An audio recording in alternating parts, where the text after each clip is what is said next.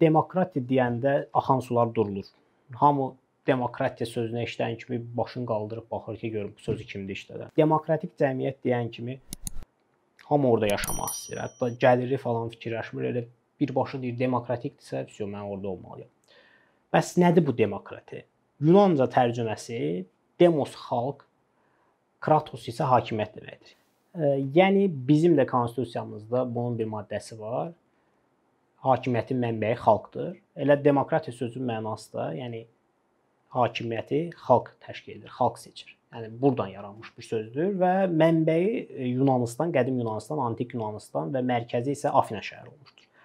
Ancaq bir də bu ə, e, sistemin belə deyək, kənarına çıxan bir şəxs olur. Bu torpaqlarda yetişmiş bir şəxsdir. Antik Yunanıstan filosofu Sokrat. Sokrat hansı ki fəlsəfənin atası sayılır. Demokratiya barmaqarası baxır. Şübhəci yanaşır və e, demokratiya barədə fikirləri bir mənalı olmur. Dövlət kitabının 6-cı bölməsində Sokratın tələbəsi Platon təsvir edir ki, Sokrat başqa bir filosofla mübahisə edir, demokratiya barədə onların sözləri çəp gəlir və bu mübahisənin gedişində Sokrat bildirir ki, təsəvvür et ki, sən bir gəmidəsən və bu gəmini idarə edən bir nəfər seçilməlidir. Bu gəmini idarə edən insan necə seçilməyini istəyərdin? Yəni hər kəsmi gəminin idarə olunmasını kimi seçəcəyinə qərar verməlidir? Yəni bu gəmidəki hamı buna qərar verməlidir, yoxsa gəmi barədə məlumatlı olanlar, ümumiyyətlə gəmiçilikdən, gəmi sürməkdən başı çıxan adam, təhsilli adamlar bu barədə qərar verməlidir? Digər filosof isə bildirir ki, əlbəttə ikinci variant, yəni bunu insanların öhdəsinə buraxmaq olmaz. O zaman Sokrat barmağını dişləyir və cavab verir ki, onda niyə yaşı düşən hamı kimin ölkəni idarə etməsini seçə bilər? Yəni bu seçimi niyə onların əlinə veririk? Və Sokrat qeyd edir ki, ölkə gələcəyini həll etmək, ölkə gələcəyini kimin tərəfindən idarə olunacağını həll etmək bu bir bacarıqdır və bu bacarıq öyrədilmirsə əgər ki, öyrədilməlidir. Öyrədilmirsə əgər hər kəs tərəfindən seçilə bilməz. Beləliklə demokratiyanın, yəni başa düşdüyümüz anlamda demokratiyanın əleyhinə idi.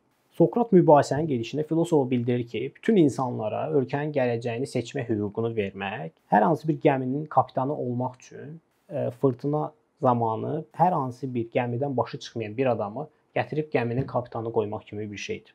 Yəni bu qədər təhlükəlidir. Əslində yazıq Sokrat başına gələnləri bəlkə də öncədən sezdiyi üçün, başına gələcəkləri öncədən sezdiyi üçün bu fikirləri deyirdi. Gəlin görək onun başına nə gəlir.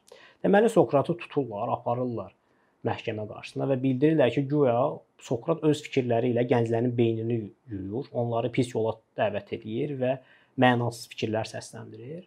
Ona görə belə çox da həyat şey demək. O boyda Sokratı öldürdülər. Sən çox yaşadın, nə olacaq? Yeri gəlmişkən Sokratın məhkəmədə ona qarşı olan ittihamlara verdiyi cavablar həqiqətən çox möhtəşəmdir. Hər biri belə desək peçat cavablardır və bu ə, e, cavabları onun tələbəsi yenə Platon, şöhrətini demək olar 90%-ni ona borcludur. Ə, yazılar şəklində yazır və hal-hazırda bu bir kitab kimi Sokratın müdafiəsi adı altında belə bir kitab kimi nəşr olunub. Bu kitabı da oxusaz ə, çox yaxşı olar. Nə isə deməli Sokrata ə, e, müxtəlif suallar verirlər, onun qarşılığında Sokrat ə, e, cavablarını verir.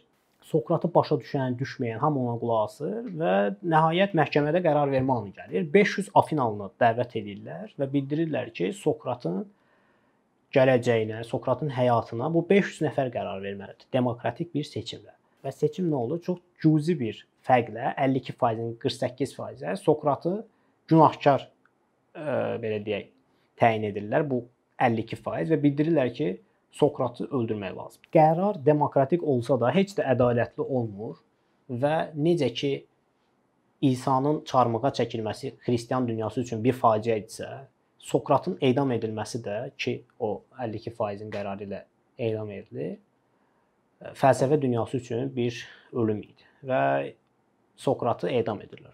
Ən pisi də odur ki, Sokrat demirdi ki, hər hansı bir zümrə tərəfindən ə, e, kimin dövlət idarə etməsi seçilsin, qərarlar verilsin. Yəni o elitist deyildi. Demirdi ki, hərbiçilər və yaxud e, zadəganlar başqa bir ali belə deyək, zümrə tərəfindən seçimlər edilsin. O sadəcə bildirirdi ki, rasional qərar verə bilən, ağıllı, savadlı, bu barədə səriştəsi olan adamlar bu qərarı verməlidirlər. Sokrat öz əsərlərində yazırdı və bildirirdi ki, insanları aldatmaq asandır və o bu barədə öz təsvirlərini bu cür yazırdı. Təsəvvür edin, iki nəfər var. Biri şirniyyat mağazasının sahibi və biri həkimdir. Və bu iki insandan birini insanlar seçməlidir. Hansı ki, Sokratı edama göndərən avam kütlə.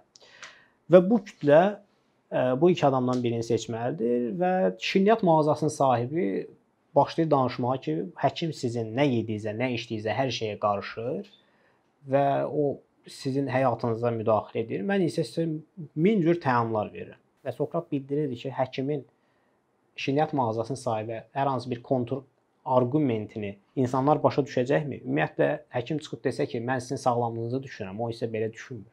Ona kimsə inanacaq ki? Cavab birmənalı olaraq yoxdur. Və buna görə Sokrat demokratiyanın təhlükələrindən bəhs edirdi. Demokratiya barədə iki cümlədə qeyd edeyim. Winston Churchill bildirir ki, demokratiya çox pis sistemdir, ancaq təəssüflər olsun ki, bundan daha yaxşısı əlimizdə yoxdur və davamında qeyd edirik ki, demokratiya əleyhinə ən yaxşı arqument odur ki, ortalama bir səs verən bir adamla 5 dəqiqə danışın. Onun hansı bilik və bacarıq səviyyəsində olduğunu görüncə kimin əlinə nəyi verdiyinizi bir daha düşünün.